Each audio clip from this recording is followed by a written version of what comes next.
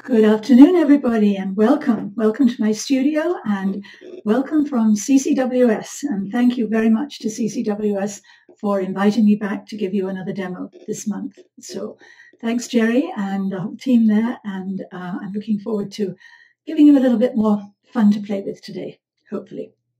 So, and welcome to everybody from far and near. It looks like we've got quite a few people from out of town this time. So welcome here and I hope you enjoy the demo. Here we have right now on the top of my pile here a little figure of Dante uh, from the Divine Comedy. He was an actor in Italy on one of the streets and he was very involved with what he was doing.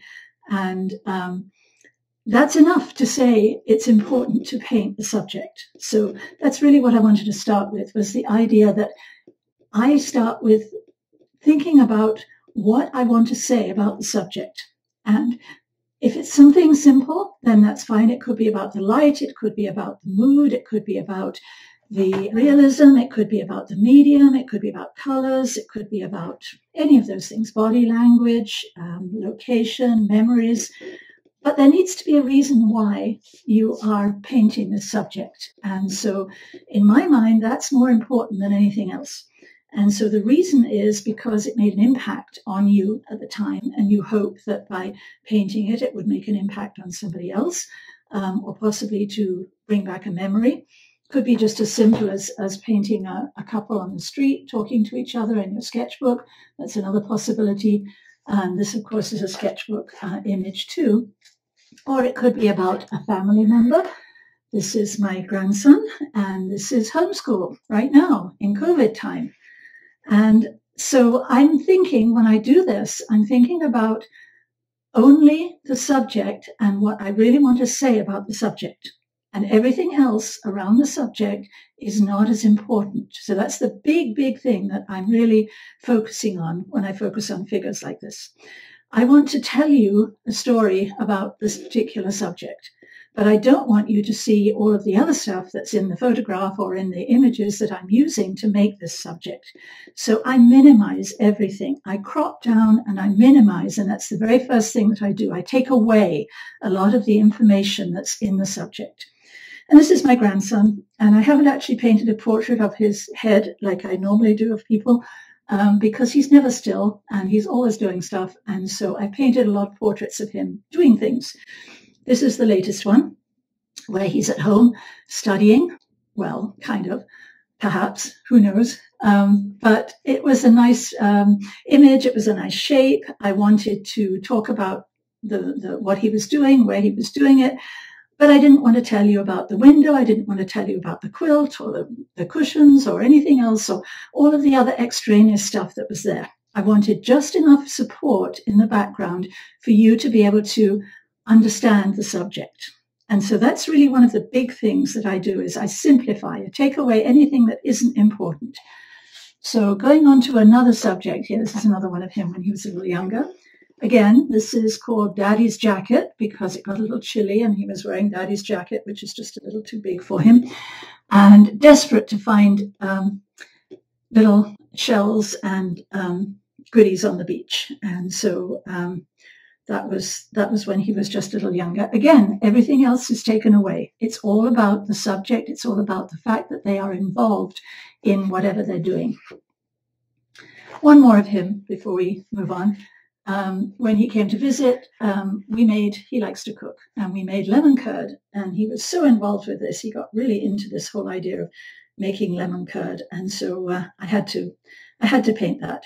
But you'll notice that I put the background of the kitchen in, but not in any way that would interfere with what he was doing. And so I'm really being very, very selective and about how I determine the backgrounds. So backgrounds, skin tones, all of those things are particularly selective um, when it comes to these subjects. So I would say the biggest thing about painting people is not to include too much other stuff and stay with the story. The story is he's busy, he's figured out how to do these lemons and he's working on it and he's got it all together and and that's what I want to talk about. Okay. So really, really important that you don't go too far. Here's a little subject that I painted based on a trip um, the year before last to Italy. When I go to Italy, I go to language school when I'm there. Try to speak a little Italian. I'm still working on it. And um, in the language school this time, they requested that we make our lunch before we could eat it. And so this is pappardelle, which is a pasta, a very uh, thin, long pasta. And that pasta is made with eggs and flour, and it's extremely difficult to roll out. It took us forever to roll it out thinly enough to be able to slice it and cook it. And um, this was the experience of making lunch before we ate it. And what I was, what I really liked about this, um, the area was dark, the walls were painted dark. There were some um, signs on the walls, there were some other things around, and I've taken away everything except for the light and the movement and the feeling of this subject. Okay. As he lifted the pasta out of the pot, you can see the steam rising and it just shone in the light. And so this was all about making that pasta. It was a memory for me, but it also makes an interesting subject because of the light. So this one is more about the light than anything else, apart from the fact that it was a memory. And um, this is one of the instructors, and he brought in one of his um, relatives to uh, to cook with us. And so she talked about the subject and how to do this, and and it was a wonderful experience. So this is why we're painting. We're painting because of all of these different different possibilities. This is a subject that um, I have interpreted personally the picture for this subject is a little different from the reality. I'm going to pull the picture over so you can see where I came from here. And I didn't want to paint the picture the way it was. The picture was um, actually from a distance. I saw it from a distance, so I've, I've cropped in to the photograph and worked with this. But I didn't want to paint this just the way it was. I wanted to paint the feeling of her playing the guitar.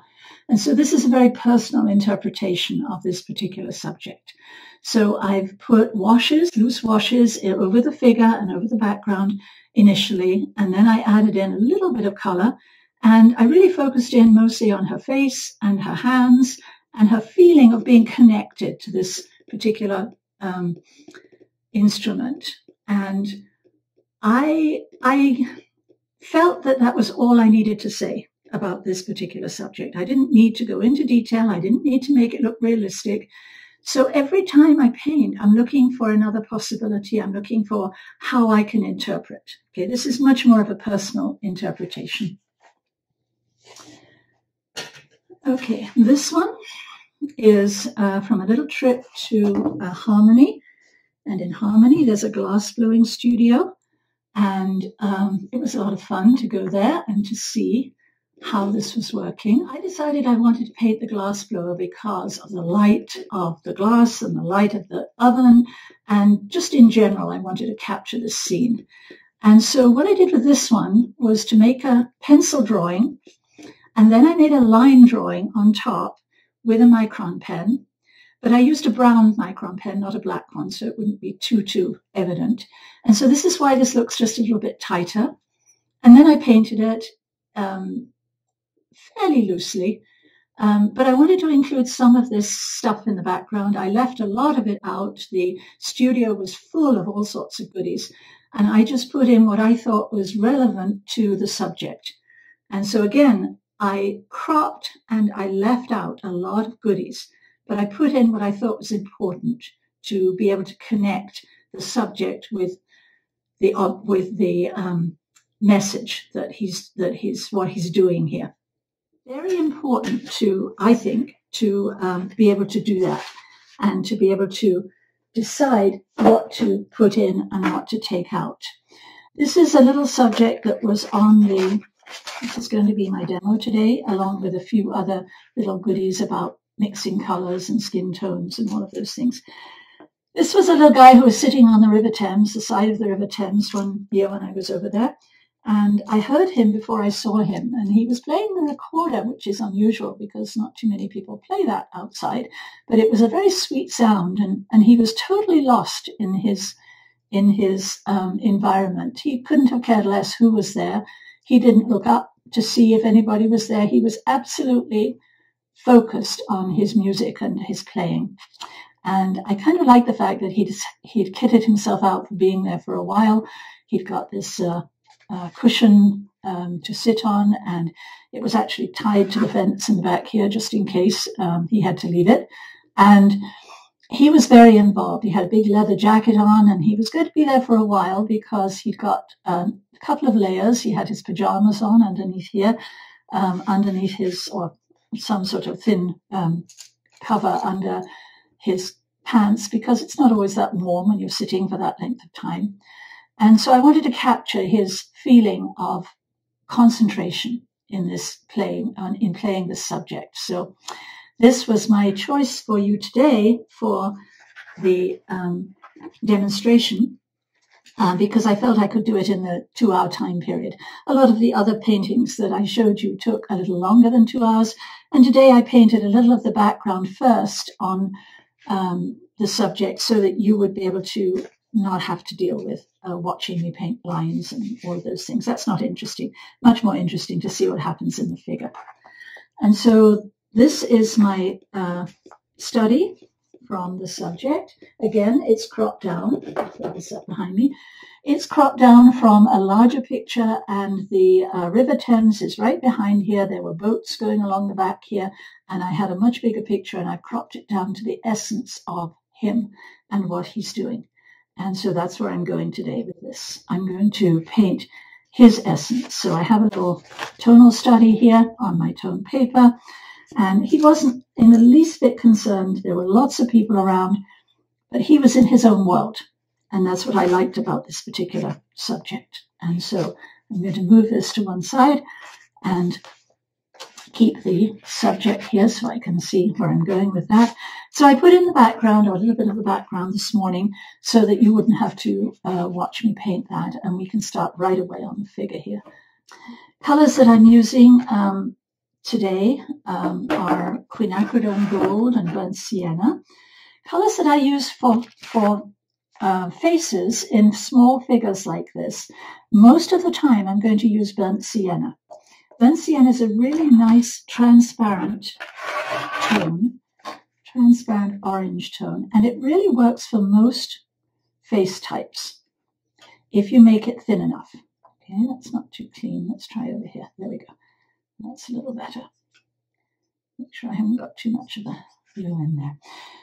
So burnt sienna works really well as a skin tone for darker skins with a lot more water for lighter skin tones and added into a few other um, colors can make skin shadows too.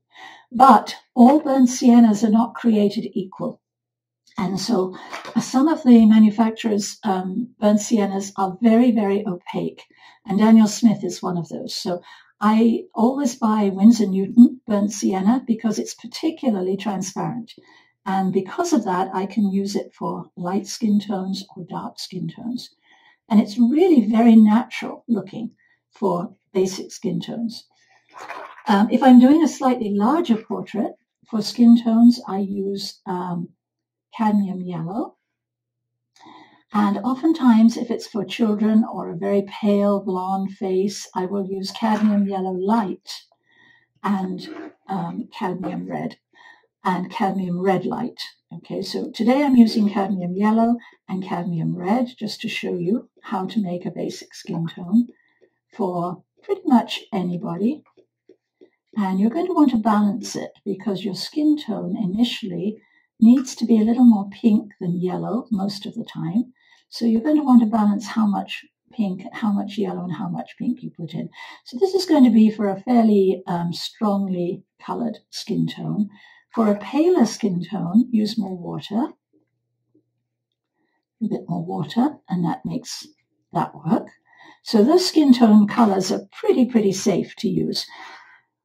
The difficulty comes when you're getting into shadows. Okay, so shadow skin tones, I'll show you a little bit later on. But these are the ones that I use to begin with. So I usually put a first wash on the face, and I'll put these on here just a little bit more so I can put some shadows on here later and show you how they'll work. Put a little bit more of the skin tone on.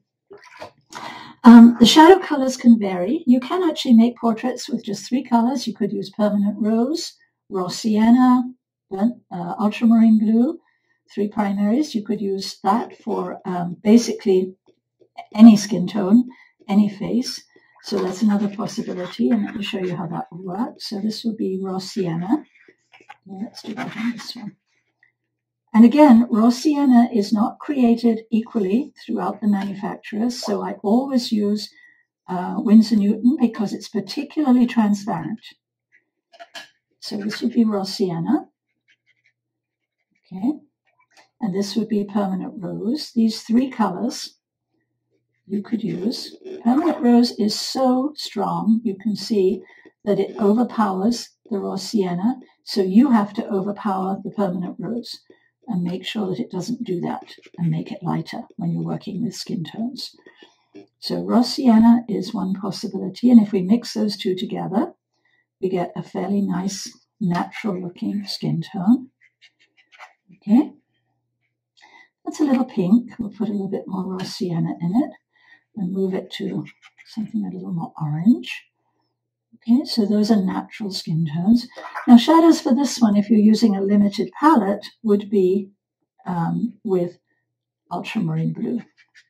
Okay, so that's a limited palette that you could use for any skin tone you like. So you've got choices now of burnt sienna, you've got choices of a limited palette, and I'm going to come back and later and put some um, shadows on these using these same colors and a few extra ones over here. So you can see how that goes. And that should give you some possible choices for painting your figures. So I'll come back to the skin tones a little bit later. Um, I paint portraits in watercolor and pastel. And so I do use a lot of different colors. And one of my favorite colors to use um, is cerulean blue in faces and skin tones. And so we can look at that a little bit later too if you would like to. And I'm very happy to answer questions along the way today. And if you have any questions, please type them in. I'll try and get to them as we go. And if not, I'd be very happy to answer them at the end or uh, in the break. We'll take a little break about halfway through so you can see where we're going. Okay, so I'm not going to start with the head on this one. I'm going to start by um, putting in the body and um, looking at my subject. I have pants here that he's wearing. They seem to be made with a brown tone, and for brown, I use um, I use burnt sienna and ultramarine blue. But in this case, the brown is a little more pink. And so what I'm going to do is make the brown and add a little permanent rose to it. Make it about the right tone. And then we'll add a little permanent rose to it to pink it up a bit. There we can test that on another piece of paper here. A little bit pinkish. A tiny bit more blue in it to cool it down just a bit more.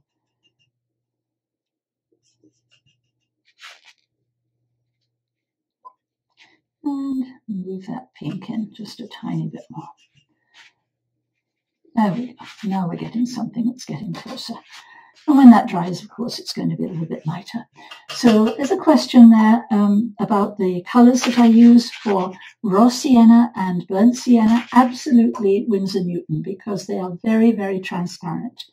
And so the tonal study um, is not done with graphite. No, the tonal study is drawn with a pencil, but then I use white paint and uh, gouache paint and um, ultramarine blue and burnt sienna grays. Just go back and look at that if you like. So I'm working on a toned paper. And the reason I'm working on a toned paper for these studies is because most of the paintings that you look at and you see will be overall middle tone. And so the tone paper takes care of the middle tones. And then I add the lights and the darks. And that way I can see my work more as a painting if I do it on watercolor, I'm struggling in a way to get it as light or as dark as I need it to be. Um, it doesn't, and oftentimes in watercolor we leave a little white showing, but I like to be able to see it looking more like a painting. And so um, I find that the tonal paper is a good way to go because it makes you think in terms of tone as opposed to color right away. So Okay, so I'm going to start working on just the base tones. Um, and as I go, I'm going to be doing a lot of lifting uh, because when I when I paint these subjects, I like to have a little realism in the subject. And I've got just about enough paint here, I think, for this one. And I like to be able to think about the um, think about the shapes of the clothing as I start. And we'll put a few little grayer, cooler shadows on this one. This goes right up into here. So this is almost like a coloring book to start with because I'm working on separate sections of this subject. But I'm going to pull out right away some of the lights to start to indicate some of these um, areas that are just a little bit lighter while it's still damp. And we'll come back to those afterwards. A little bit more in here. Um, question is, do I always sketch this um, in this much detail? It depends on the subject. If I want the subject to look realistic, I'm going to put a lot of time into the sketch. If I don't, I'm not. So it, it depends on what the reason why I'm painting it. So for you, I want to be able to show you some realism. I want to be able to show you some techniques that I'm using. And so um, I'm doing it a little bit more realistically on this one. And because I'm really interested in all of these folds and areas that we, we can establish here. Okay, um, the image that I've got printed here is not quite as bright as the image on the photo paper. So um, you're seeing just a little bit more color in my painting because of that. I have one sitting opposite me that's a photo as well. Okay, so now we're going to go in with just a little bit more tone. I'm putting in a few of the darker tones to start with, just so I can get a feel for how dark and how light everything needs to be. You know, every time you do a painting, it doesn't matter how long you've painted, whether you painted 30 years or three years or six months, you still have to start from scratch. You might have a little bit of a bigger bag of tricks to be able to work with, but every time you paint, it's going to be new to you. And so you never quite know what's going to happen, particularly with watercolor. I'm just mixing up a little dark tone here as I talk to you with ultramarine blue and burnt sienna again for um, the first wash on this little area here I really want to put establish this before I get into um, too much detail at the top. So just a little loose wash in here We'll take care of that. And so every time I paint, I'm jumping in the deep end just like you are because I know what should happen, but I don't know what always will happen with watercolor. And so it's it's always a nice challenge to to be able to play with the idea of watercolor. And I really don't want a too sharp an edge here, so I'm just going to soften that little edge as we go around. Edges are important because they're the way that we read the painting, and so um, I want it to look like a cutout all the way around, so I'm just going to soften that down just a bit.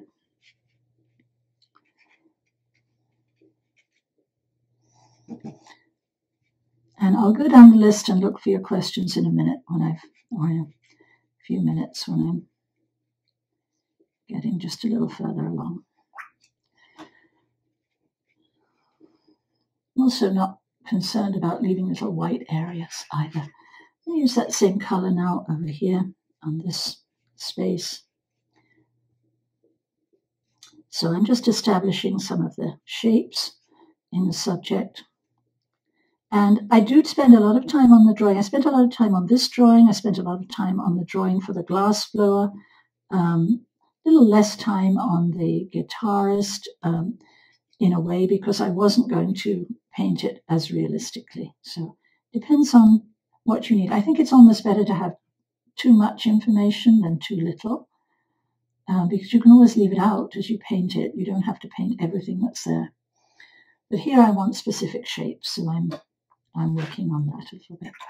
Now I'm going to throw in some, some areas down here. I'm trying to get rid of a lot of this white paper down here before I start to work on the important part. And so that's my reasoning for going in this direction.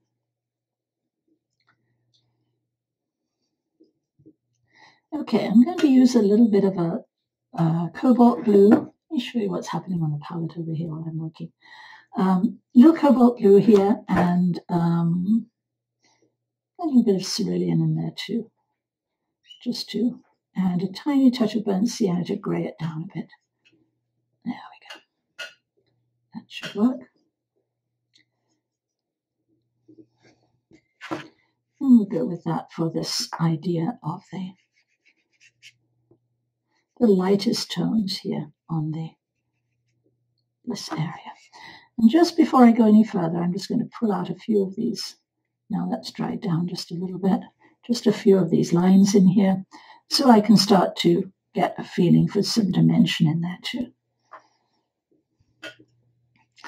drop in a little color in here. I'm not going to paint every single little part of this part of the subject. To me, what's most important is the figure, and this is a support feature for the figure. And so I'm not as interested in putting as much detail in this as I will in the figure. You just have enough to, to make it work here. Okay. And I'm going to drop in a little pink in a few places. There's a pattern on there. So just drop in, oops, it's a little too strong. That permanent rose will get you every time.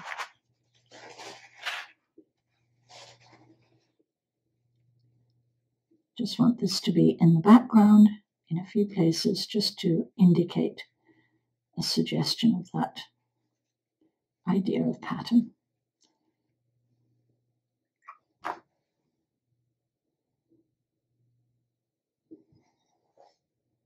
Oh, these blooms are nice. That works well. Okay. So I'm going to focus now a little bit on the feet and then I'm going to move up to the top part of the body. Before I move up to the body, I'm going to put a wash in the foreground here and um, add a little texture to that by spraying, and then later on a little more texture to it by um, giving it some spatter. So let's just add a little information to the feet. And this is a similar color. The uh, socks are a similar color to the um, blanket that I just painted just a little bit more um, cobalt and a little bit more of a grey tone here. Tiny little bit more colour in there. That should do it. And so again, I want just a flat wash for the moment because I'm going to come back in with shadows and just want these to connect. I don't really need the detail of the shoes right now, but I will just put one wash on those as well. Okay. Before that dries, um, I'll just, I think I'll leave those for the moment, add the wash later. So the shoes are just a touch darker, so this is more of the colour that's here, um, just a little bit darker. I'm going to drop in a little burnt sienna along the way with these and lift a little bit more too. Lifting is a good way to deal with a lot of things in watercolor. I probably take off as much paint as I put on in some subjects. Let's put a little brown on there. And let's just lift up a little bit of that, that tone at the top there.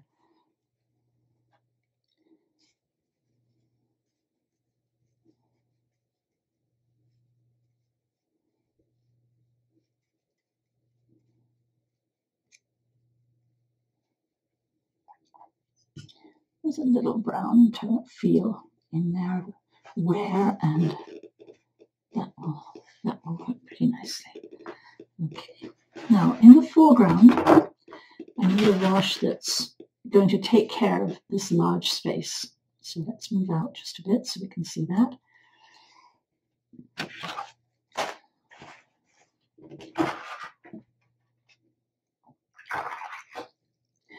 I'm going to use some raw sienna, some burnt sienna, I'm going to make it about a light middle tone to start with. And I'm going to drop in a little blue in a few places. I just want something that resembles a, a speckled ground area like this. Okay, something that resembles this. It doesn't have to be exactly the same, but it needs to have a little texture because nothing else um, next to it has texture. So let's start with a raw sienna.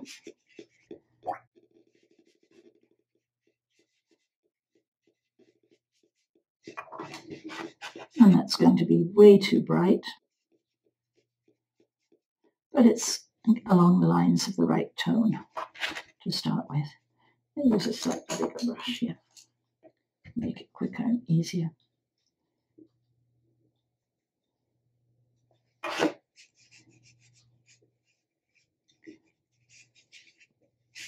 So what I'm going to rely on with this one is um, the color of the tone and the um, amount of paint that I'm putting on, and then the fact that it's almost dry and I can get a little texture just by spattering and um, a little bit of water on the top.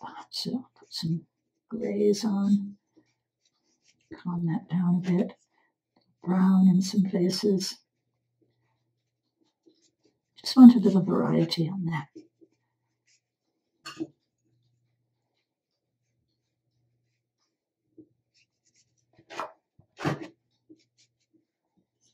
A little bit more grey, I think, just to tone it down a wee bit more.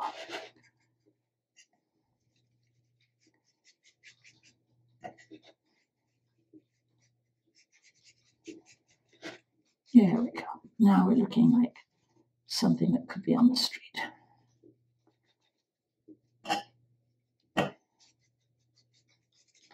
Now as that dries, if I spritz it with a little water, I'm going to get the first amount of texture. And then later on, I'll come back and add some more texture to it.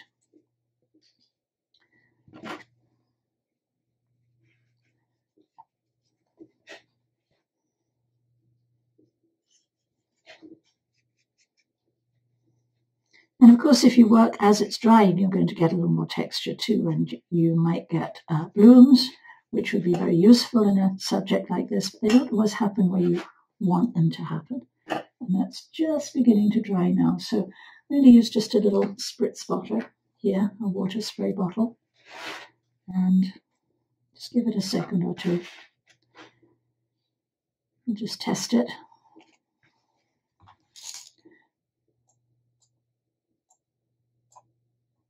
And you can see what's happening here. You can see that I'm getting a little texture because I'm spraying on just a small amount of water as it dries. So this is a technique that you have to use just as the paper is drying. It works best just as the paper is drying. See how that's opening up and making texture? And then we'll come back with a little spatter later on and that should be fine.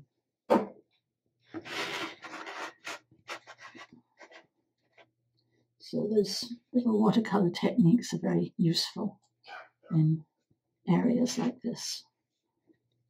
Okay, I think we need to change that um, edge just a touch there before I finish.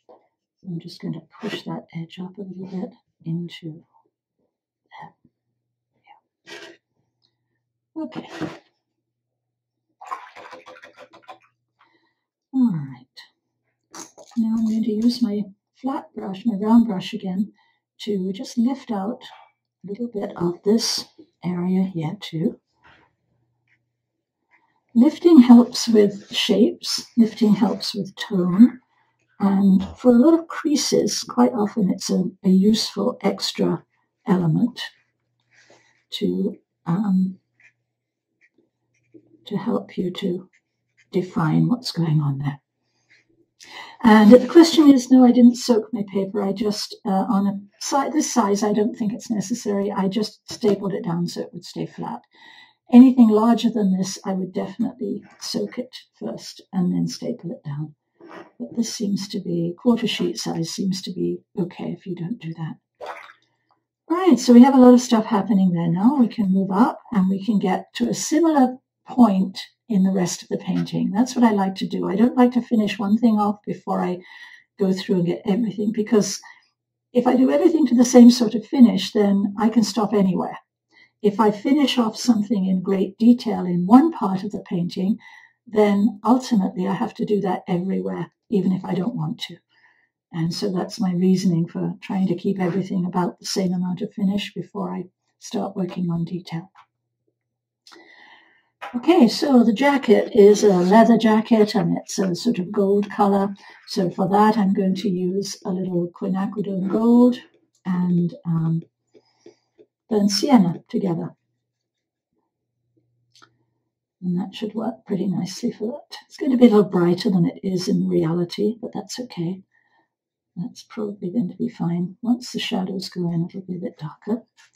We'll test that and see how that's going to look. That's pretty close. A little bit lighter than that, I think, for the first wash. That's more like it. Okay, maybe just a touch more. Knowing it's going to dry lighter, I want it just a touch, touch darker. And I managed to get a little blue in there, so that won't hurt because that will calm it down a bit too. Now it's a little too brown, so we'll try again. I have a, a darker color next to my quinacridone gold, and if I'm not careful, I pick up a little of that along the way in this little palette. It's useful for uh, demonstrating, but it has the few limitations there. Okay, that'll work too. That should be fine. And yeah, I think maybe just a touch more gold and a little bit warmer. And now I think we're there. Yeah, that should do it. Okay, so this is going to be my first layer. Now, I'm going to be lifting back some of this area. So rather than put on a light tone and then another middle tone and then um, a dark tone, I'm going to be doing just this one level and then the shadows. So now lift out a few of these spaces. And I want this to look old and worn. And so I'm purposely using strokes rather than putting a big flat wash. I'm using separate strokes where I can to give a little bit more texture and movement to this part of the painting.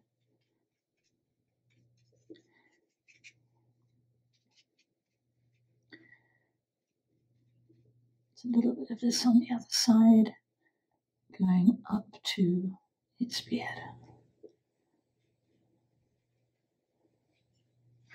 Okay.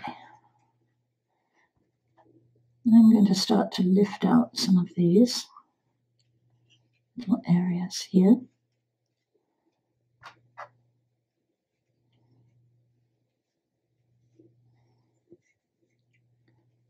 Just a little bit more colour down here. All those little whites will disappear eventually. This is just a little bit lighter, so I just put my brush on the sponge to lighten it up a bit for this area. I think that's everything that's going to be that colour right now.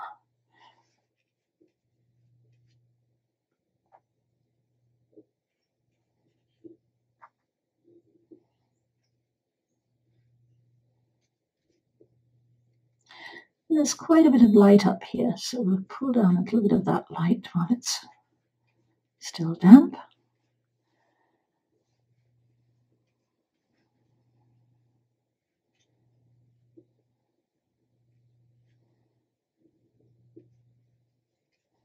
And that should take care of the beginning of the shaping of that, that part. Okay, so I'm, I'm heading in a direction that I want to go in. The rest of his clothing in here is um, in the shadow. I'm not quite sure what it is, so I will paint a shadow color um, because that's really the only choice I've got if I don't know exactly what color everything is.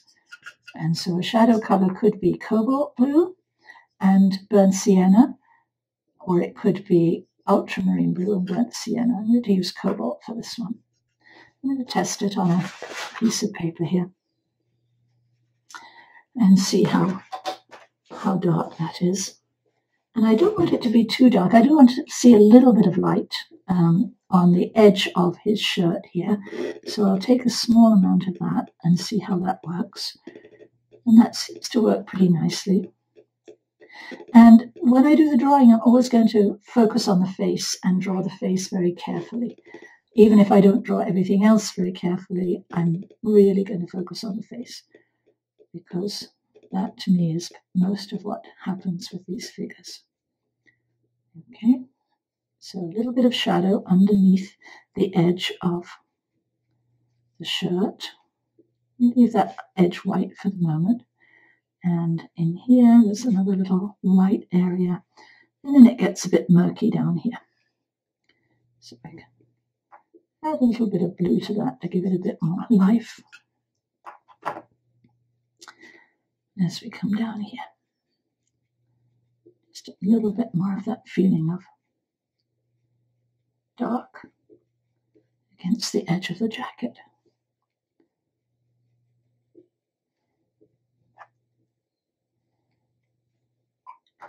And it's a little bit of variation in here too, so we'll lift out a touch of that. I'm going to leave that um, edge of the shirt white for the moment until I paint the face. So I'm going to move on up to the hat, and then we'll worry about the face.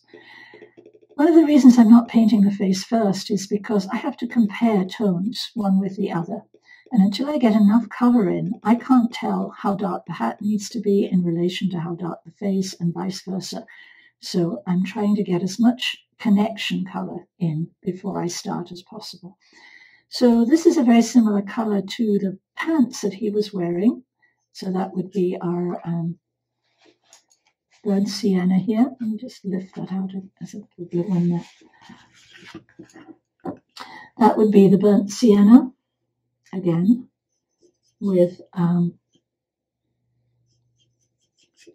ultramarine blue and just a touch of pink.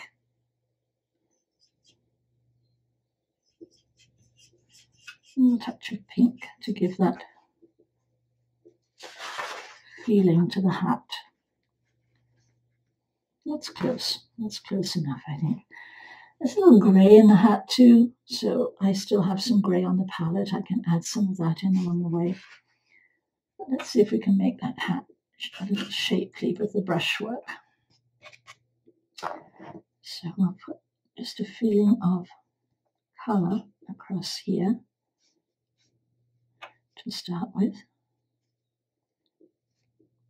And I don't want it to be flat. I want it to be feel as though it has dimension right away. There isn't a lot of shadow and light in this particular part of the painting. And so I've got to make it up as I go along.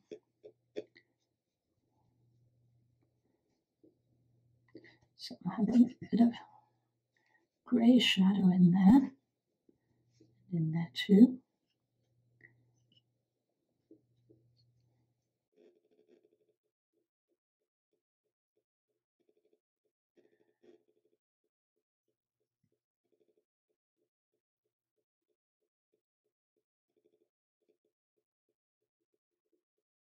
just a little touch of dark at the back there and a little bit more dark back here.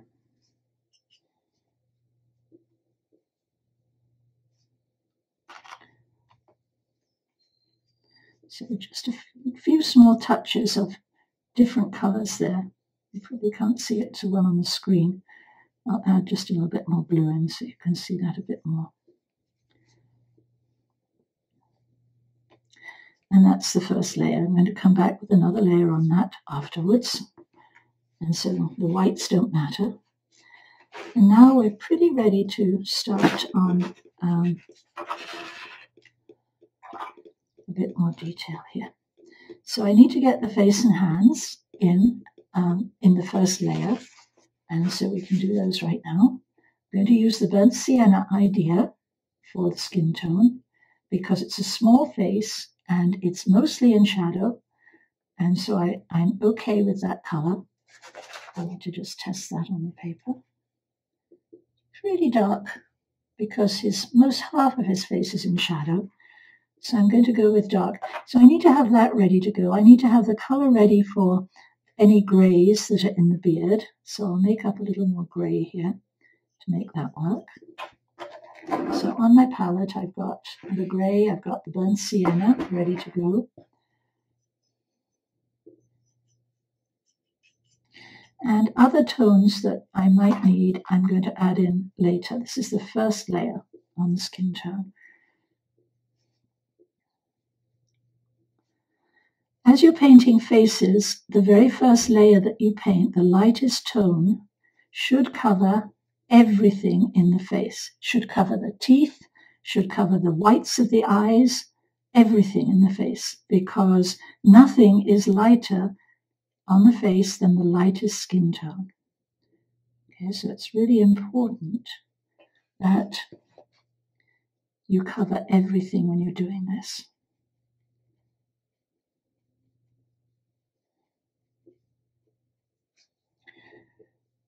Okay, so he's got a little grey hair. Some of it's lighter, some of it's not so light. Let's put it a little bit back there, just so we know that's happening. He has a little grey coming through his beard,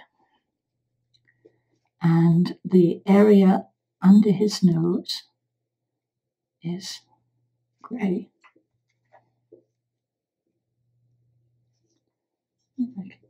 And just a bit closer on that.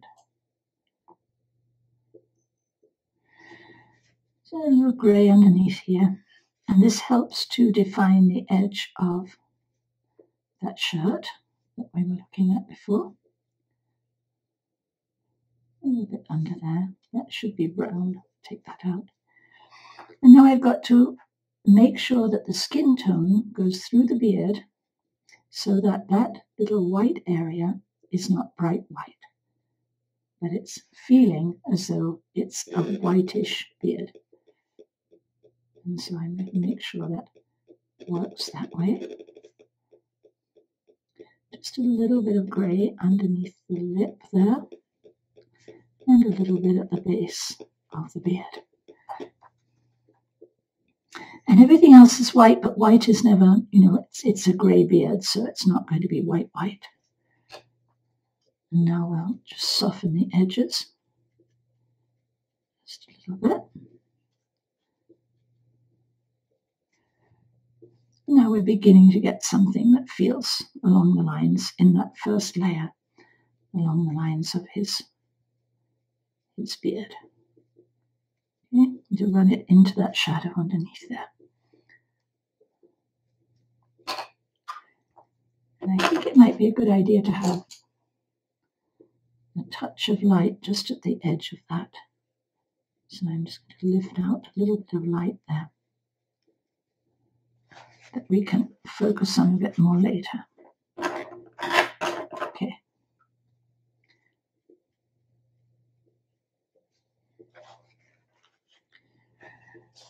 Okay, so I think we're pretty good to go on that. Took out a bit too much colour there. Let's chop a little bit that in. That's better. Okay, now, when you're painting faces, the noses usually and the ears are going to be warmer. There are three zones on the face. The zone that goes through the bottom of the face here is usually cooler. The zone that goes through the middle of the face here is usually warmer. And the zone that goes through the upper part of the face is kind of neutral. And so you can always add a little bit more color in this area here and I will be doing that a little bit later on. I've got some shadows to add and other things to add later, but this is just the first layer.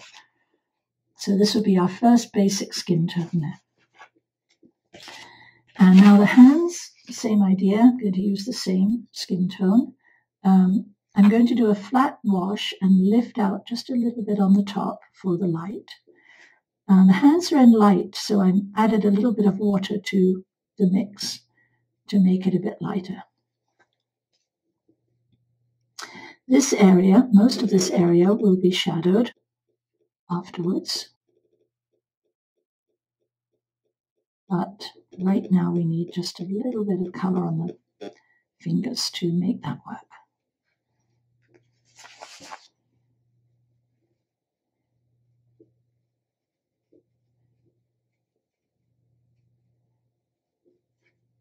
This also pops out the recorder a bit so we can see what's happening there.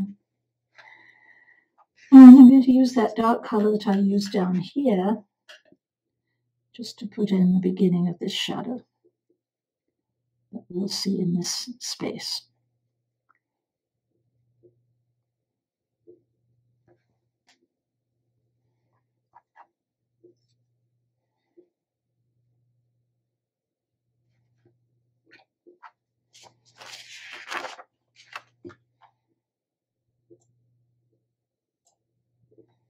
Now you can see that I'm nowhere near um, darks, uh, any darks at the moment. Everything is in a middle tone, pretty much, except for this one little dark that's jumping out. And even that's not dark enough yet. So I'm just going to add a couple more of the darks, and I'll start down here. So let me just add in a couple of shadows in here, first of all. Just using the colors that are on the palette right now, the darker colors that are on the palette. I'm just going to add in a few little suggestions of these these tones. It's just a bit too blue.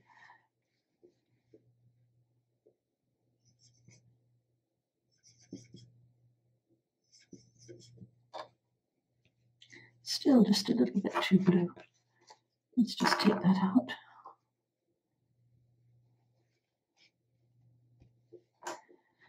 Do it again.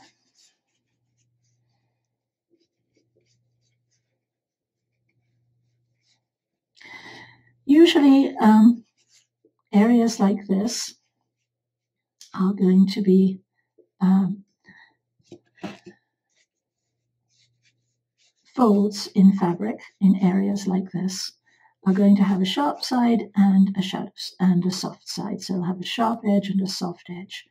And so that's one of the easiest ways to think about folds. And I'm just suggesting them in here. I'm not going to do it in too much detail. I'll have just a little bit of shadow in there. And just a touch more in here. Some shadow down there. And obviously where he's sitting, it's going to be a little bit more shadow. That we can add in later. So I'm just going to put a tiny bit of shadow in here and in this one before we stop for just a little while.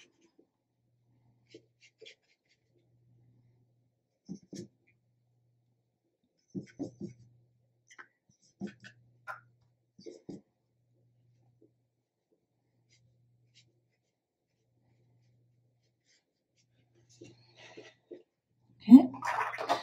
Now the shadow on the um, fabric, it's like a blanket that he has on the ground here. Shadow on the blanket is just a little bit, um, not quite so grey, it's a little bit bluer. So put that in here. Just a few touches of this, and then I'll soften down some of these edges. Maybe just a little shadow under here, a bit of shadow under there.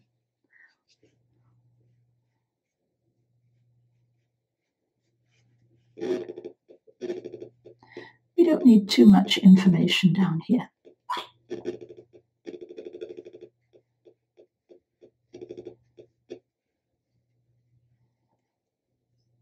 And obviously underneath here is going to be just a bit darker. And under here will be just a little darker afterwards. This is this is good enough for now. We build up the the information as we go.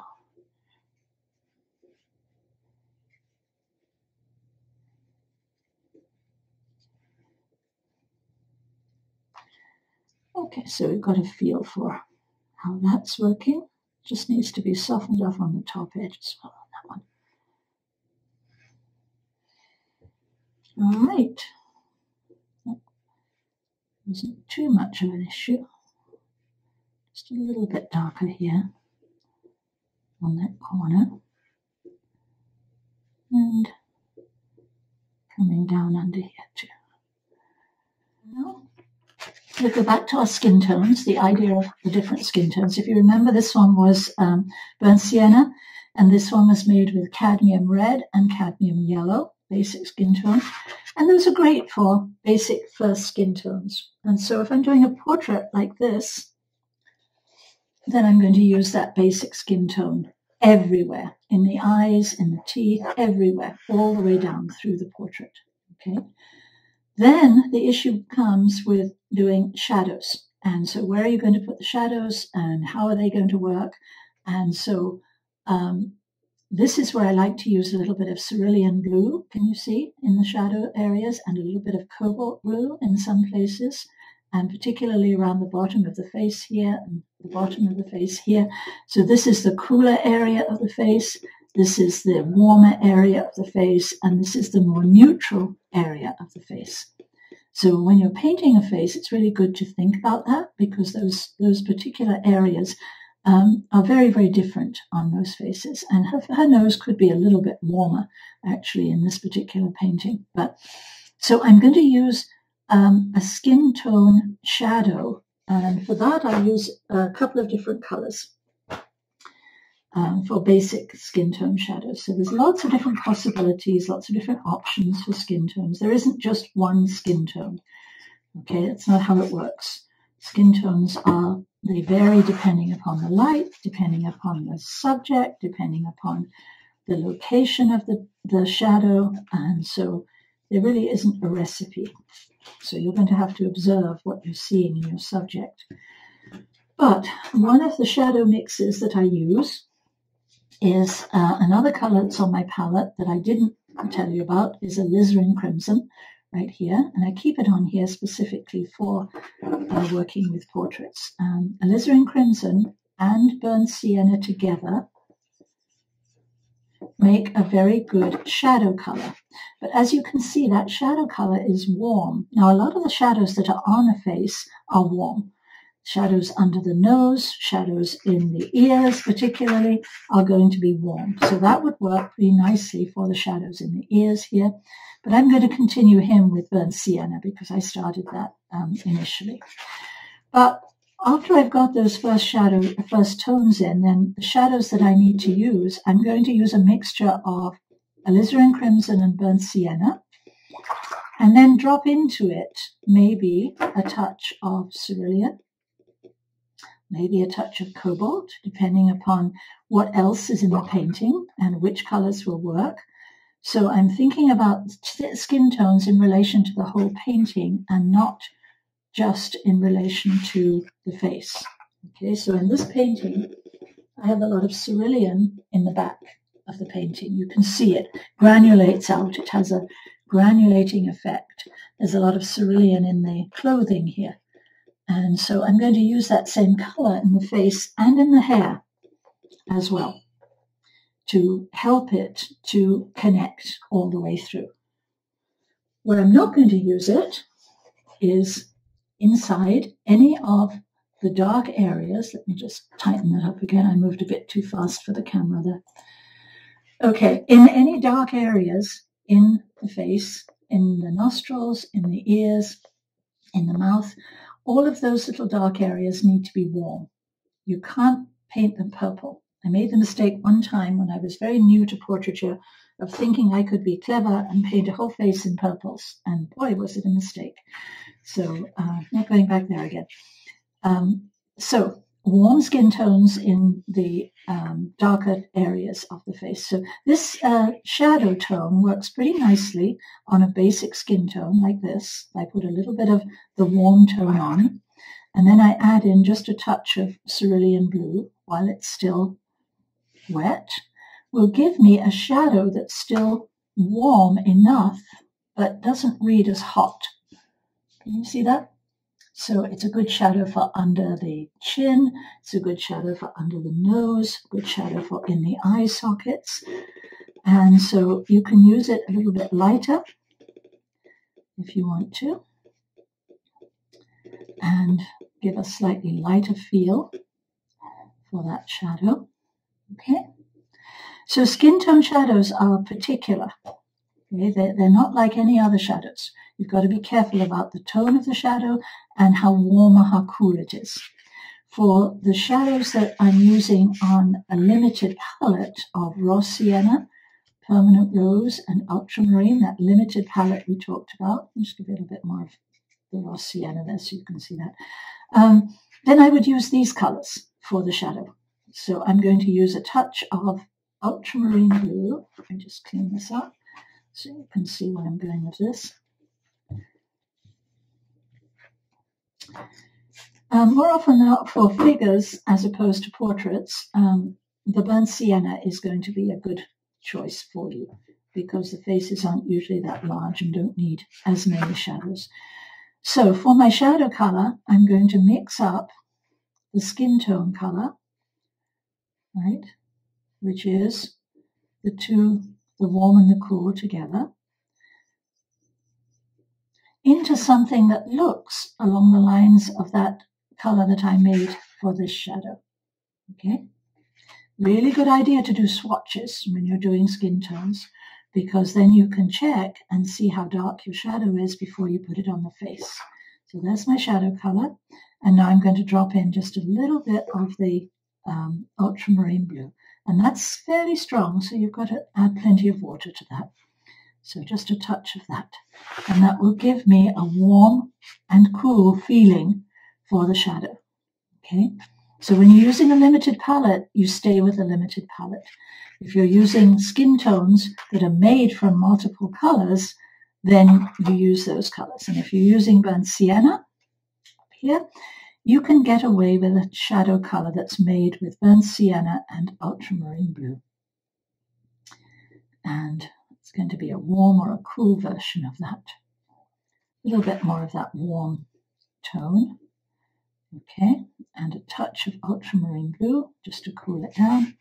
And that's going to give you a, a shadow, a coolish shadow, or a warmer shadow, depending on how much burnt sienna you put in.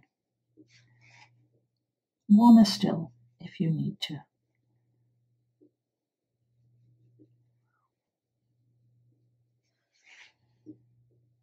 And those are pretty good colors for um, for skin tones. So on the burnt sienna mix, stay with the burnt sienna because it works better.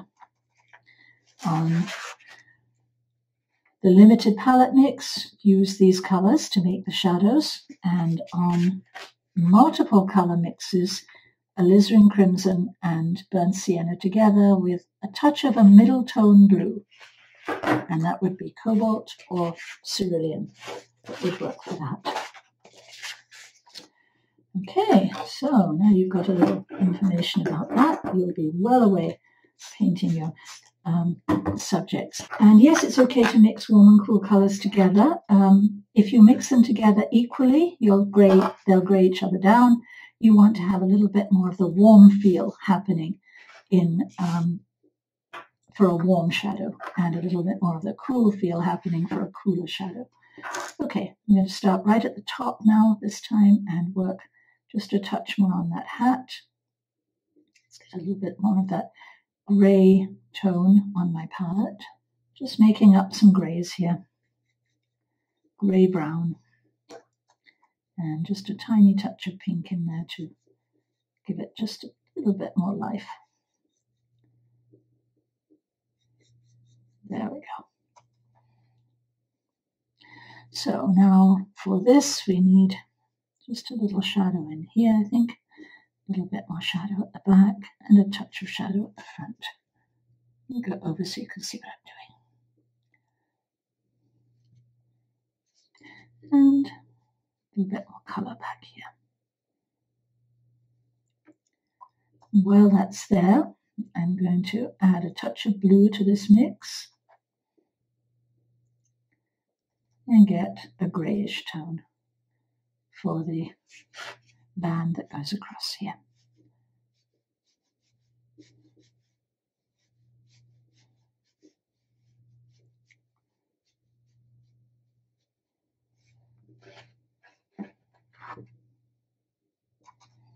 I think I made that just a bit too high at the back there. I think it needs to go down just a little bit more back there. That's better.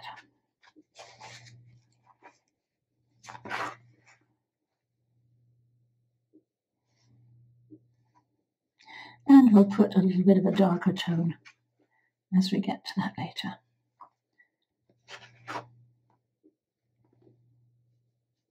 More colour on the front. We'll stop with that for the moment.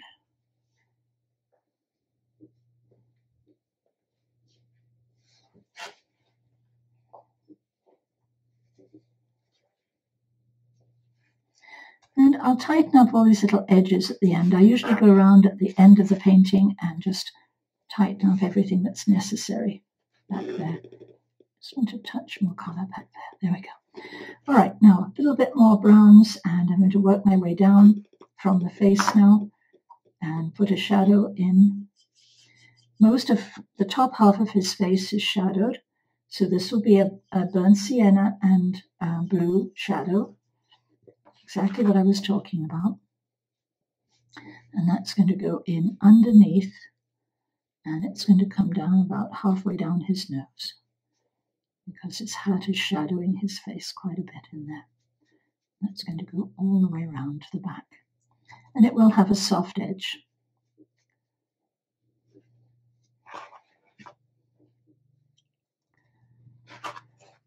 A little bit of that shadow will be underneath his nose too and on his top lip. Top lips are usually in shadow.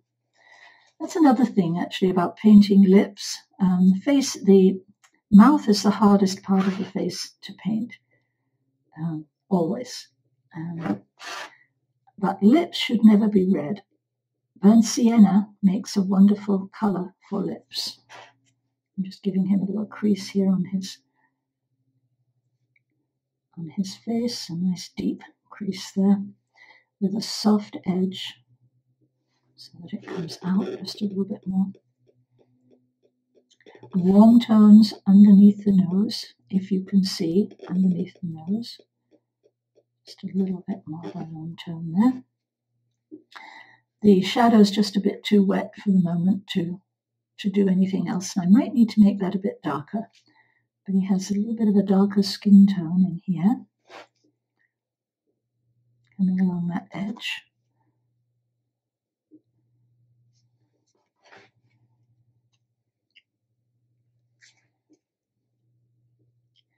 And a little shadow behind its ear.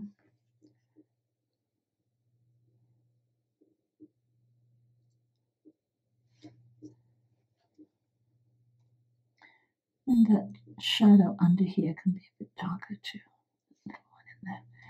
Make his ear a bit warmer with some burnt sienna.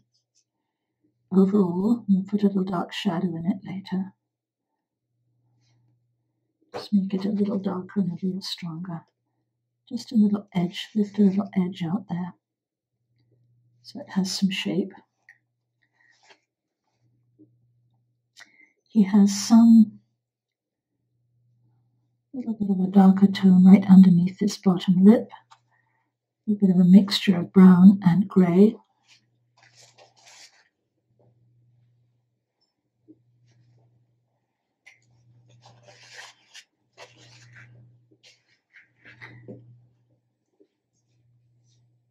Make a slightly darker mix of this grey now. Burnt sienna and ultramarine blue is what I'm using here.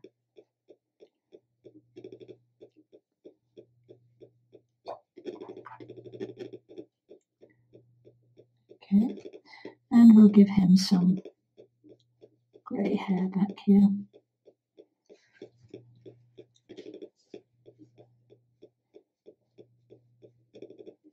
Finish that band off a little bit more. Let's let it go down back into the back. It's just a bit too high before. Okay. I'm going to go back and revisit that shadow that's underneath his um, his hat. Go just a little bit darker on that. It's dried a bit lighter than I wanted. That's much better. And that same shadow is going to come down the side of his nose too.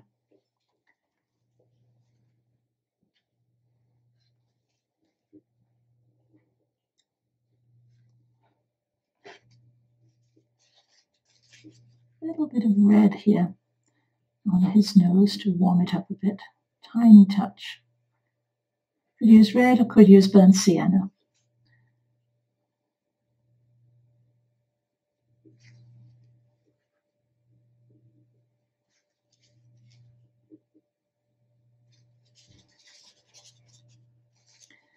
And then I'm just going to lift out a little bit on the side there.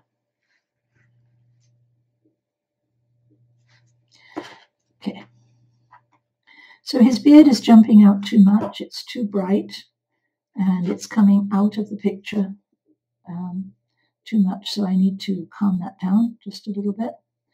A little bit of grey tone. I don't want to lose the white completely, but I just need to lose a little bit of that shape and that um,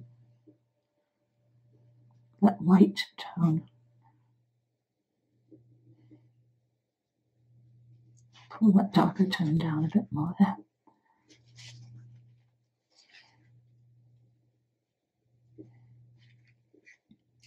Okay, let's put some shadows in here and get serious about how dark these are going to be. And a few little shadows in here underneath and coming down the front. And now we can get really serious about some darks.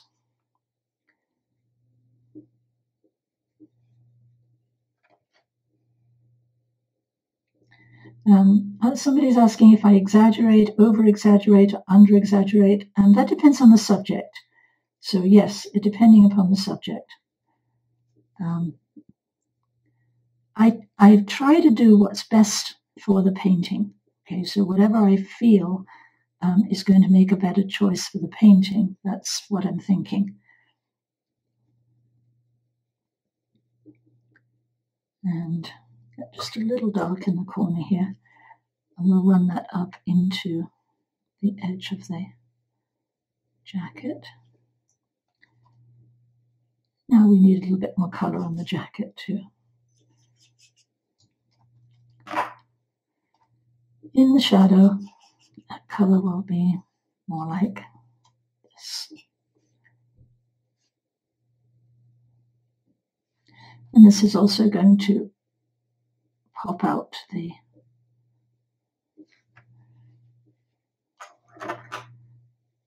the um, what was that about being able to paint and talk at the same time? Concentrating on this too much. Uh, that's going to pop out his recorder, was what I was trying to say. Okay, a little bit more shadow um, underneath now. The it's darkening the shadows here to something browner.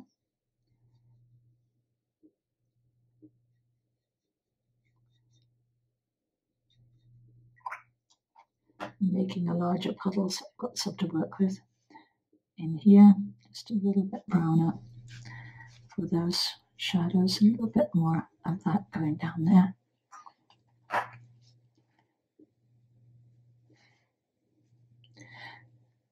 We'll grey down this shirt just a bit more in a few places so it fits down into that space.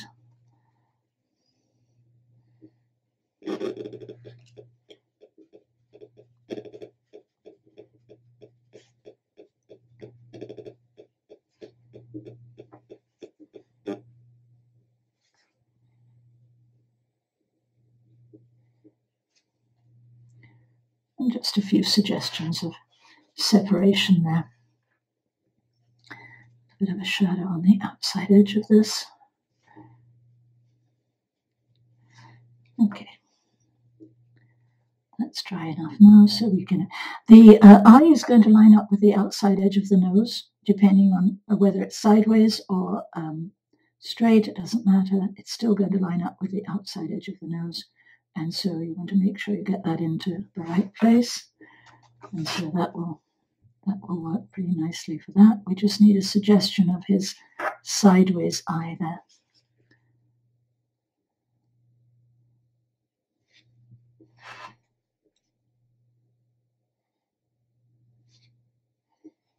and the socket as well.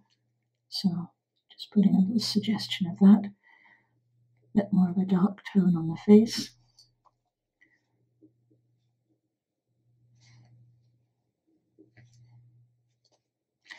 And a touch more feeling of dark underneath there.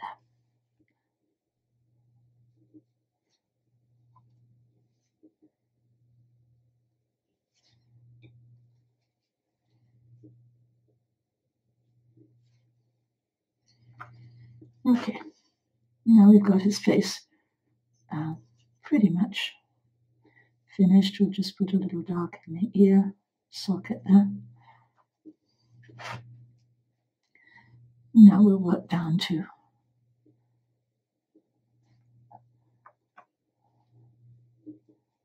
there we go. So what I'm looking for when I'm painting details is light against dark what is light, what's dark, what's middle tone. That's really all about everything in the painting is what's light and what's dark. It's not really about anything else for me. And so I'm not thinking nose, I'm thinking how dark. I'm not thinking eyes, I'm thinking, well, it's got to be in the right place, but how dark does it need to be to make it read like an eye? and I'm popping things out because of using light against dark. All right, I just need a bit more color here on this, um, in this shadow.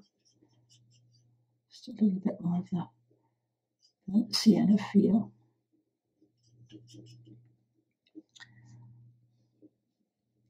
That's better. Just need a slightly warmer shadow here. Leave a nice little light edge on there if we can.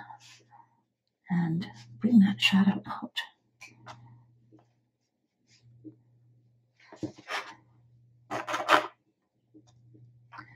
Just want to capture that top edge again. I lost that little corner. So I'm just going to bring that back. Tiny details like that are important. Okay, so I'm going to work a little faster now as I come down to, to this area. And because I lifted some of those um, spaces, I don't have to do quite as much work on these areas. I can suggest it and it reads a little better. So I'm putting some of these in and I'm going to just go back and soften them.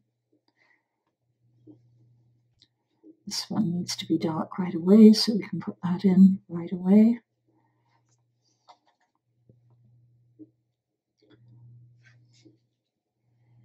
Just a little light on the edge there. On this edge, there we go. And a little bit darker against that.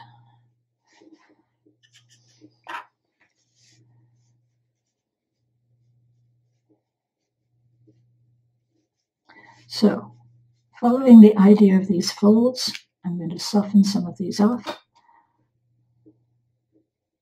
And if I want to, I could always make another layer of um, color to add in over the top if I felt that I didn't have enough color in the jacket. I think I do, but if I wanted to add a few touches of extra color here, for example, um, and here perhaps, um, maybe down in the bottom part, maybe on the back. And what I'm looking for is a jacket that's used and worn.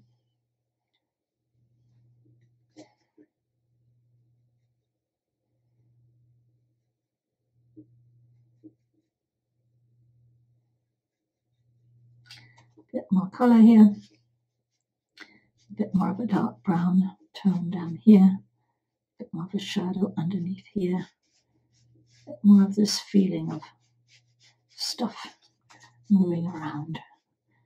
Maybe a little bit looser on this one because of the time than I was on the one I did before.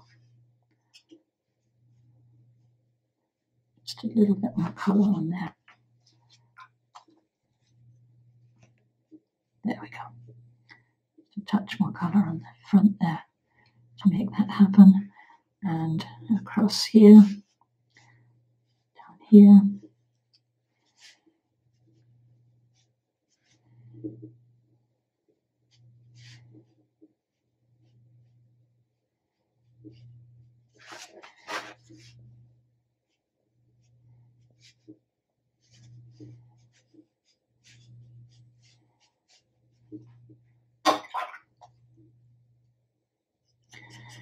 So just about everything we paint is about shapes.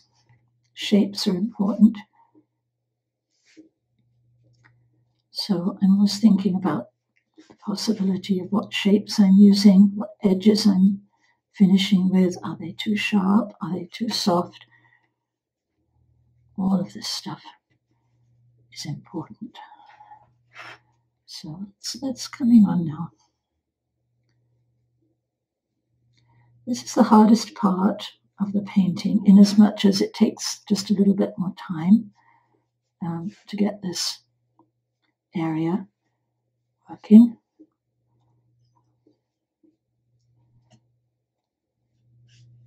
I'm just going to take that back over there and darken this just a little bit more in here because it's mostly in the shadow. That was too dead. I need to put just a bit more colour in there. There we go. Just a bit more shadow down there. A bit more shadow on this arm at the bottom. And then I'll have to really darken the darks. Um, tiny little touches of much darker paint before I finish these. So in here, for example, much darker. In here. Remember, when you paint from photographs, though, um, you need to watch that a little bit because photographs tend to lie about the shadows. In fact, they don't tend to, they absolutely do lie about the shadows. And so they always make shadows look a little too dark, darker than they are in reality. If you're painting outside, you'll see that very clearly. You'll see that shadows have more color and more life when they're painted um, from life. That's why plein air paintings usually look a little different from studio paintings painted from a from a um, photograph.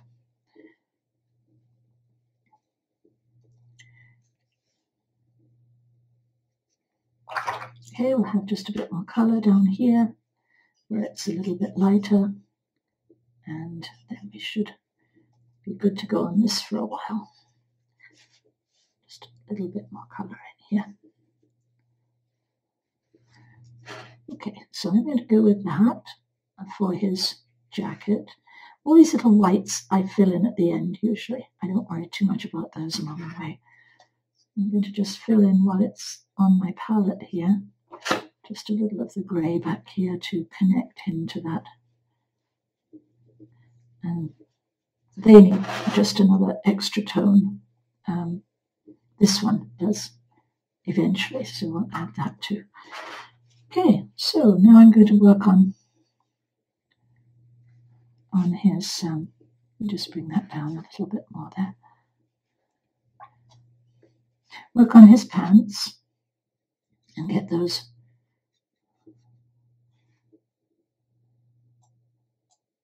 a little bit more space, a little bit more shape. So basically there's a big, couple of big feelings of um, crease going in there, another one here, another one there. Pretty much all of this is in shadow. So we'll take that right down into a shadow to start with. And that will help that to disappear where it belongs. Pretty much all of this is in shadow. So lose that back to where it belongs.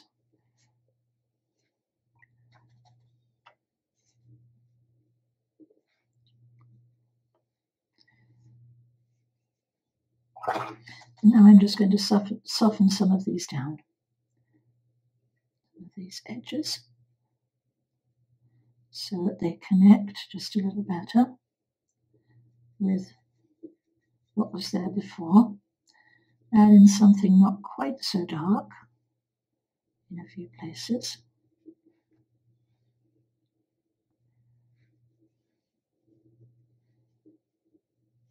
And a little bit of a feeling of movement across the knee there.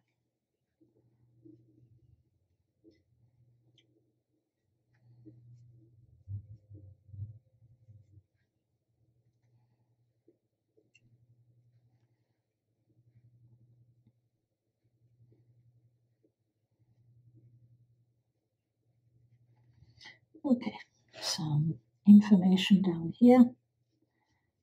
A shadow coming back there, and a shadow coming under there.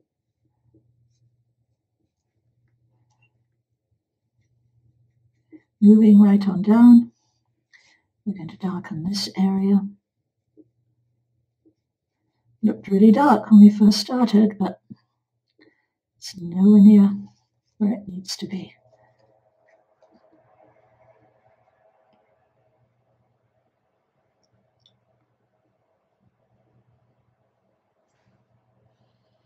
Now we're getting there. It's actually the darks that make the painting come to life, always. So as soon as you start to get some really good darks into the painting, it starts to take off and look more interesting. So a soft edge on that one. And we might need just a couple more dark lines in that top leg.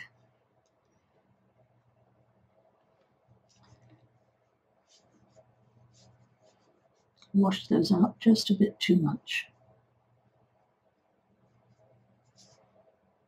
And on there. Everything dries just a little lighter in watercolor, as you know. Okay, a few shadows down on the feet now, getting very close to the end of this subject. I'm just going to finish off the hands and the um,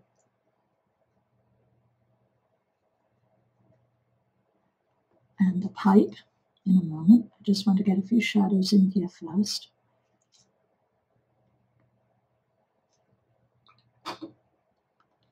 Put them in and soften the edge.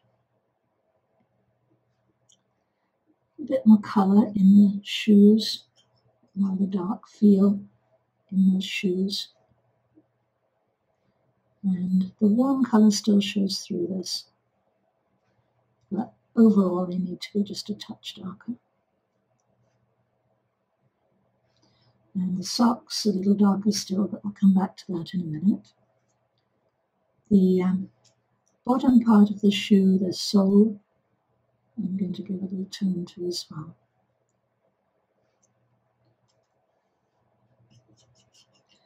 Something light, but not too warm. So it's going to be more like this.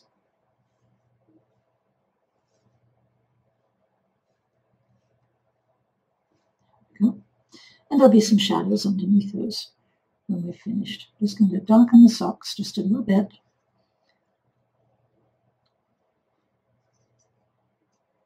Particularly around the heel on this one and down here just a touch. And just leave a little bit of light on the top of that one looks like it'll work. And this one's probably a bit more in the shadow, so give that just a slightly darker tone.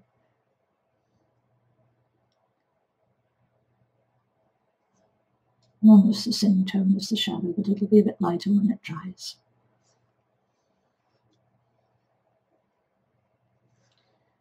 Okay, so we're getting close here. Just a few more um, suggestions of shadows down here. That feel of shape for the fabric.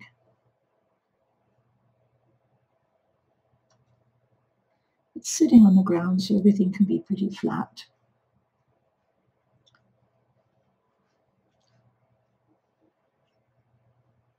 I'm going to use a little gouache for the money that was thrown onto the blanket in a moment.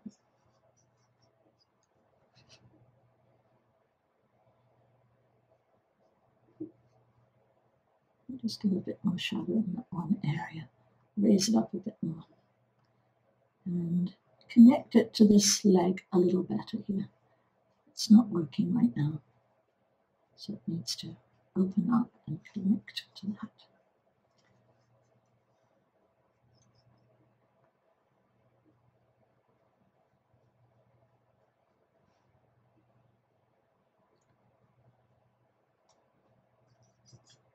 And I'm just using basically what's on the palette for these little connections here.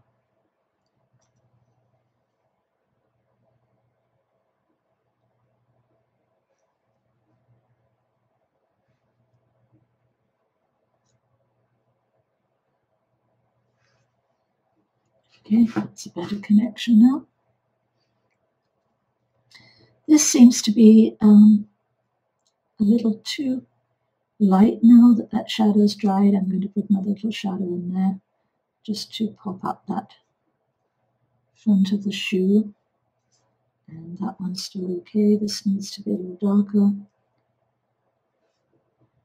And I think we're good to go down there now for a while. Leave that to the way it is. Fabric's looking okay for the moment. And now I'm just going to move up to the hands before I finish off here. Now we need some shadows for the hands. We're using burnt sienna, so we're going to use burnt sienna for the shadows. Burnt sienna and a little ultramarine blue.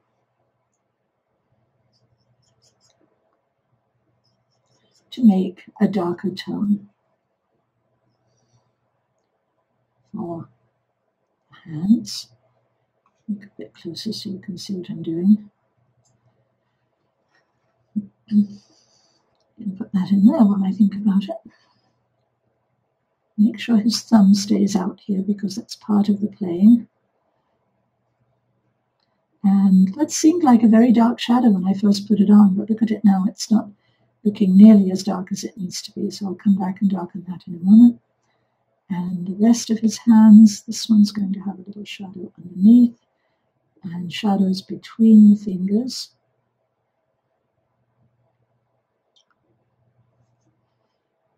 And this one, the shadow is going to be more along the edge of the knuckles area, the back of the hand.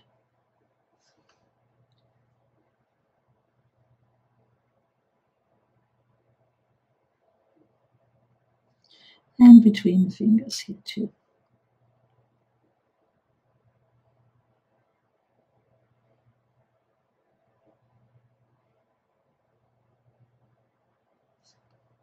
Okay, that's going to work for, let that dry down first.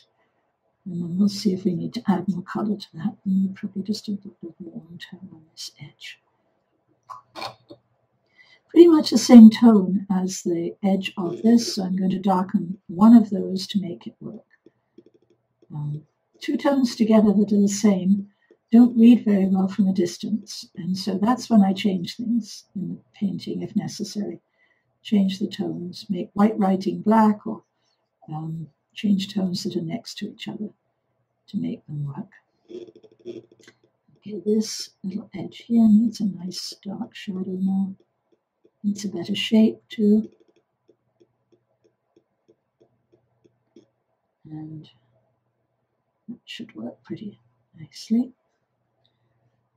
Okay, just a tiny little bit more shadow in the the inside of the handle.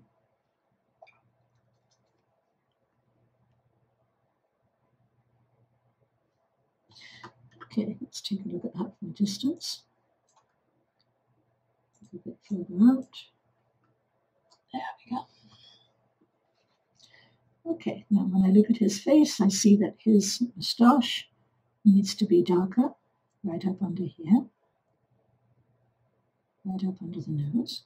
Everything dries just a little bit lighter, so in watercolor you have to come back quite often and just revisit some of those areas that are not quite dark enough. And the top lip is always darker because it's in shadow than the bottom lip. Bottom lip's just a little light on that too, so give it just a bit more tone. There we go. Closer so you can see that. There we go. A little bit more color in his in his neck here. Give him more life along there. I need to tidy up the hat just a little bit.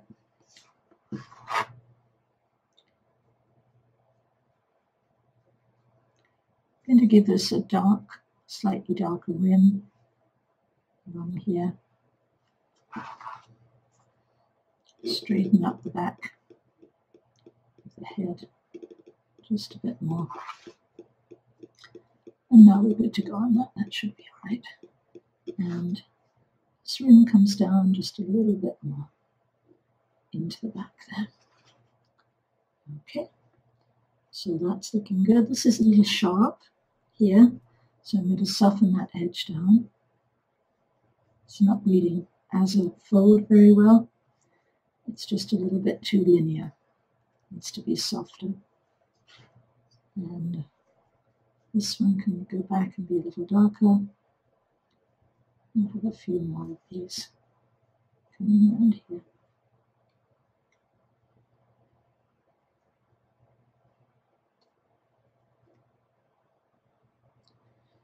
Right, darker tone now on the black area. Just waiting for the hands to dry down just a little bit before I go back in and work on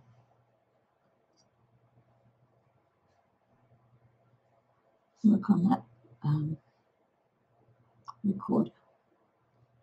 Just a little bit of darker through here to um, connect all of those things together and in here too. Just a bit more dark.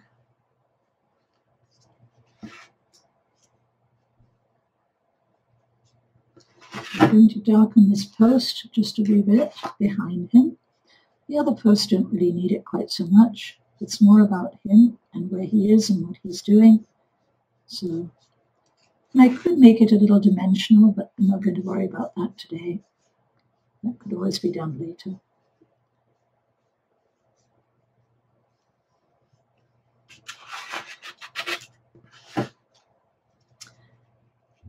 Straight lines are not my forte, I have to say. All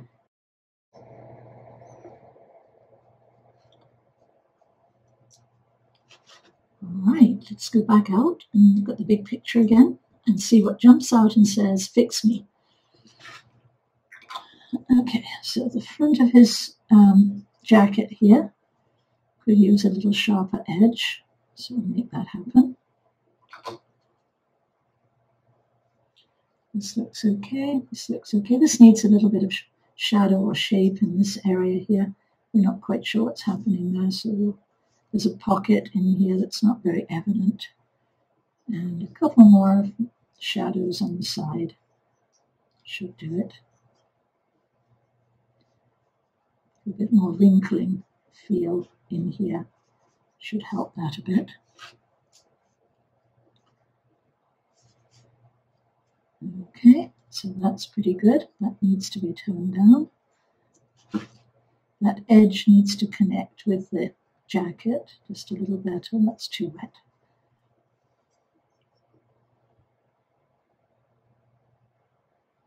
That's better. Okay, so face is working. The white beard is jumping out just a little bit too much here. We'll give it just a touch more. The eye could be a tiny touch darker.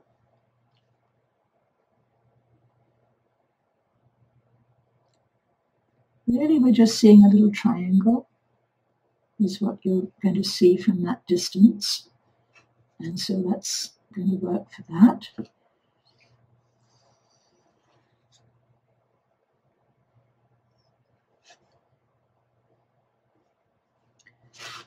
How do the feet look? Feet's looking okay for, for this one. The shadows, for some reason, aren't getting dark enough there. So I need to darken those a bit more. It's just a little dark shadow under there. And um, I do I don't use black. I make black with ultramarine blue and burnt sienna whenever I need it. So this is more like a blackish tone. Um, I do use sepia sometimes, but mostly for a sepia painting and not so much. Um, sepia is a little opaque. Um, I do use occasionally um, neutral tone for the darks, and that has black in it, but not very often. It depends on the subject.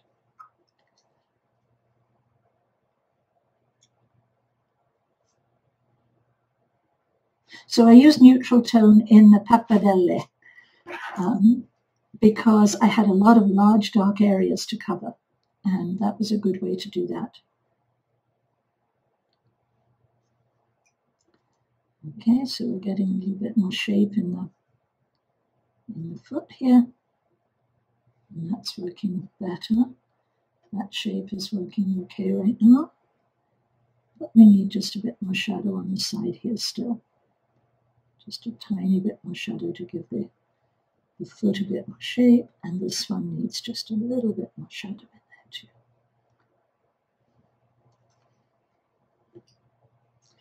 Okay. All right, now I'm going to use a little gouache to um, whitewash to make up some colors for the money that's sitting on the I'll use white, pure white for one of them, and then pure white mixed with burnt sienna for the copper color. So those two colors. And this is, um, gouache is a good medium for things like this.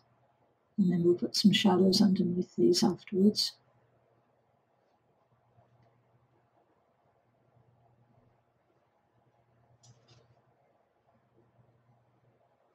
Darker colors dry lighter in gouache, lighter colors dry darker in gouache. So you have to get used to how gouache works.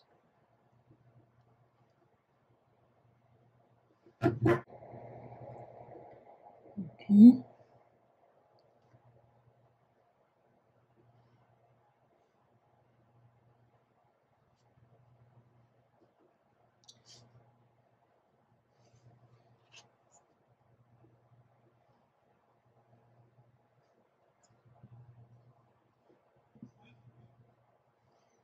Mm, could go back and darken some of the areas behind, but I don't really need to do that. I'll put a whole bunch of this down here. And then we'll just come back and put some shadows underneath those afterwards when they're dry. In the meantime, I'm just going to put a little bit of texture on the ground. We'll finish off just the edge of this um, blanket first, and then I'll just add a little texture on the ground here. Let's just finish this off and give it a, a shadow on that edge and a little shadow underneath and the whole area will need just a little bit of shadow on the ground too when we get to to that in a moment.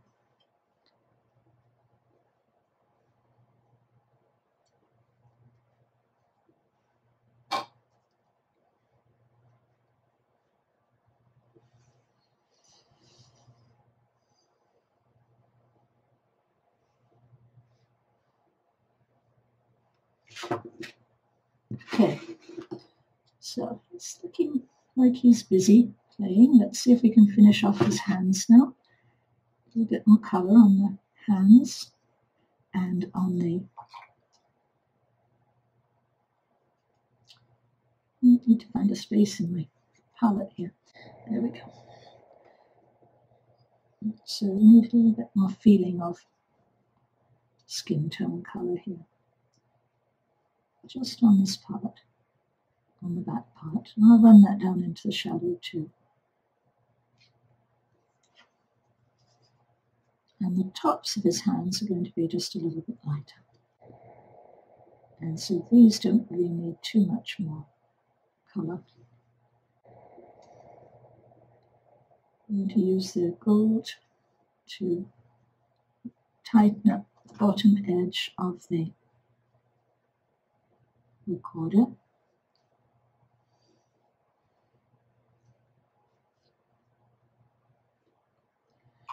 We'll give it a little shadow it can have a tiny touch of raw sienna all the way through, or quinacridone gold, it doesn't matter. Raw sienna is probably better for this. It's a sort of cream colour. So I'll just put a little raw sienna along here and soften the edge. Hmm, too much water. My sponge is getting a little soaked here.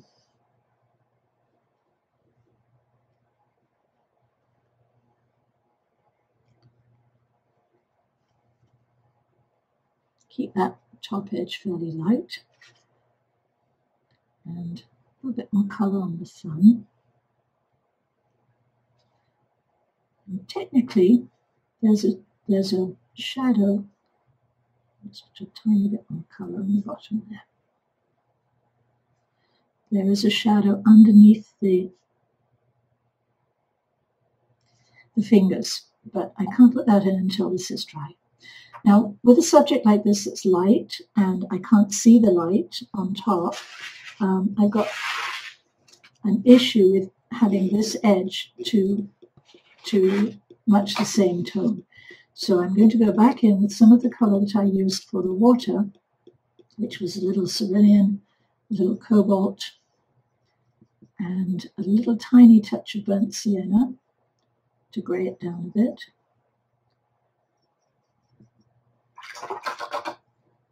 I'm just going to use a little bit of that and just test the colour and see how it's it's close. Yes, it's close. I'm going to use a little of that on the top of this, pull it back, and lose it back into the water. Because I need this instrument to pop out just a little bit more. And those colors are exactly the same. So I'm just going to lose that back into the background. Make the water just a little bit darker in that spot.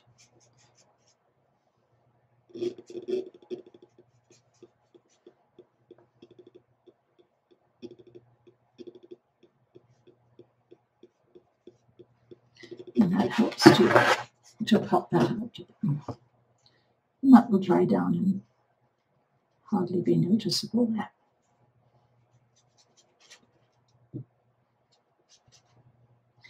Take it up just a little higher and soften the edge.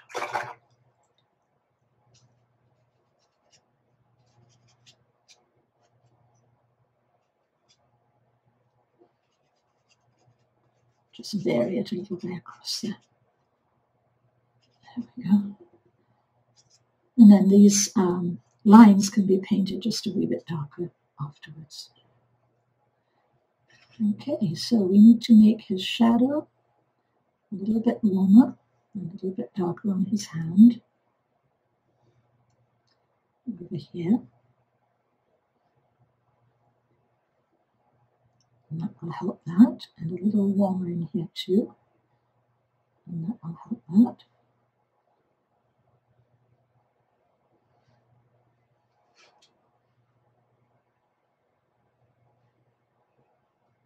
His face can have just a touch more of that warm too.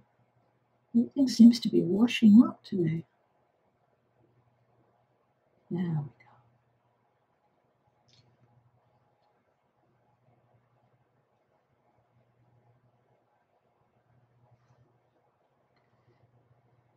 We'll pull his eye back just a tiny touch.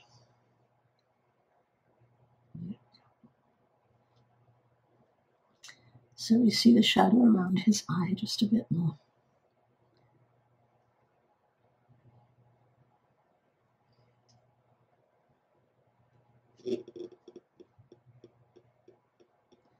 Okay, I think we are almost ready to finish. Now, I can finish off this edge a little bit later, catch up those edges. But what I was going to do down the bottom here was just to add in a textured area so you can, and then some shadows. So if you want to watch that, um, this will be the, the last thing that I'll do here, apart from the, the monies. I'm just covering up the painting where I don't want the spatter to go, because spatter will go everywhere. And I'm going to use whatever's on the palette. And so whichever colours are on the palette, I'm going to spatter away here to give this foreground some texture.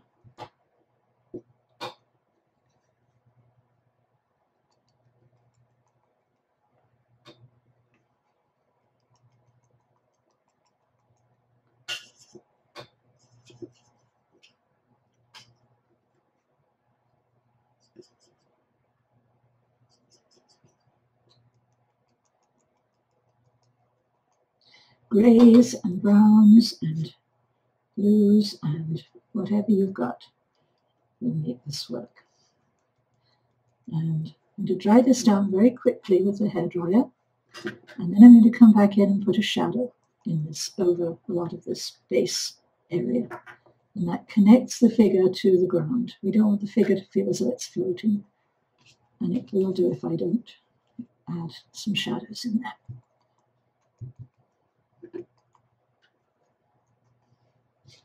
Okay, so that should be enough splatter. And now I'm going to use a grey shadow on the ground. Ultramarine blue and burnt sienna again, good shadow colour. It works really well for just about everything. That's good. I'll go just a little lighter on that. That should fit nicely.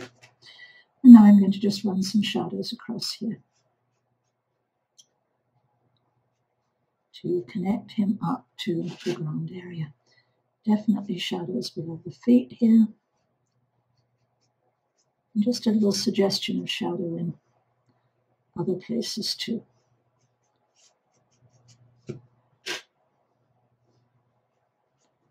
It shouldn't be looking too pristine down there.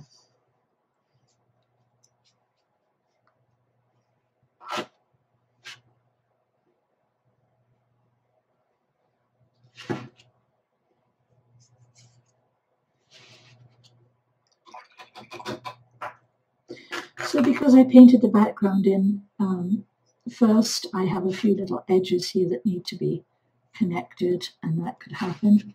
And um, we just check his hands again, make sure we've got enough colour on those. We're going to need just a little bit more shadow on the fingers. And then I think we'll be good to go. Between the fingers here. Just a tiny little bit more of that feeling of shadow there.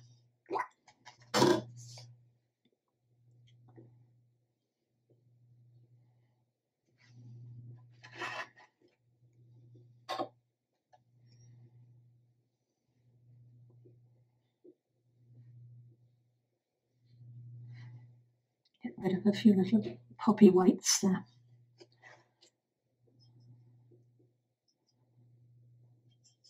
There are a few more things that I could do to finish him off, but fundamentally he's just about ready to go. Just going to darken this edge a little bit. The shadow down there. Separate those arms out. And just a little bit more dark in here just to separate that area out too. So just a few more touches to to finish that off. Just sharpen that edge down there. But fundamentally, I've said what I want to say about him. And just a tiny bit of dimension on this.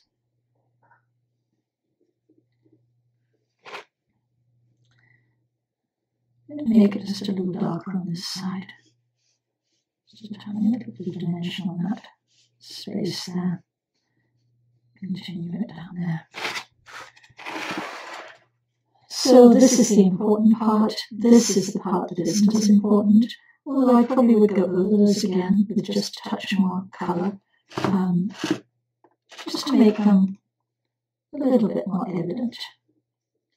And some darks underneath the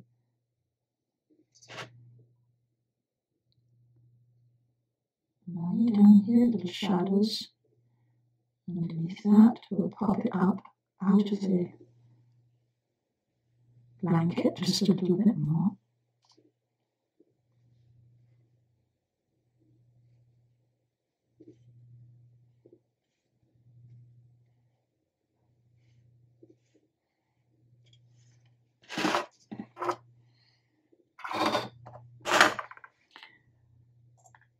So I think we're just about good to go then. I'm not sure if this map is going to work on this one. Let's just take a look and see. Yeah, that'll nicely. So you can get a feel for how he would look. And I hope you enjoyed that demo. I hope it taught you a lot and that you'll use some of that information in your own paintings. Um, he's looking nice and comfy and um, focused, and so I think we're good to go on that one. Okay, let me take a look um, and see if see if you have any more questions that I need to answer. Oh, good. Okay. Well, you're very welcome.